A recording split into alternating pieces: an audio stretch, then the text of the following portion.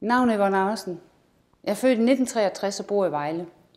Jeg har en uddannelse som datamatiker og arbejder i dag som kvalitetsleder på en erhvervsskole.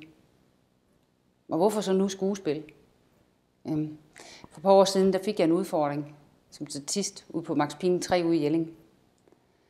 Og det var et par skæde dage, vi havde derude. Og jeg oplevede så mange gode situationer og så mange fantasier, vi kunne slippe løs med historier og fortællinger. Jeg var heldig at få lov at deltage i flere af den slags, så jeg har deltaget både i Brostborg og Blodbrødre og Arvingerne for den sags skyld. Men på et tidspunkt, så var det ligesom om, det var ikke nok. Nu vil jeg også gerne have lov at sige noget. Og så har jeg så været så heldig at blive inviteret med i nogle film, primært som skoleprojekter, hvor jeg har spillet mor. Men jeg har også fået lov at få lidt andre roller. Blandt andet som check-in-dame i, i Digte 2, som kommer i efteråret.